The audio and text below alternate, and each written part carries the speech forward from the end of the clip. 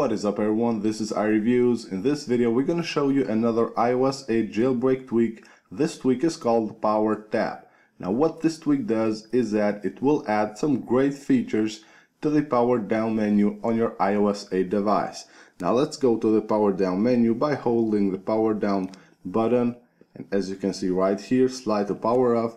Nothing unusual here but if we tap on the button right here it will change to slide to reboot Tap once again, slide to respring, and once again slide to go to the safe mode. Very cool tweak, and you can enable them by going to your settings. Here you have power tap, you have reboot, respring, and safe mode.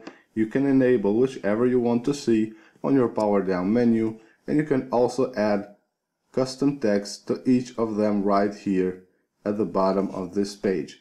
You can download this tweak for free from the Big Boss repo so I hope you guys enjoyed and don't forget to subscribe to our channel.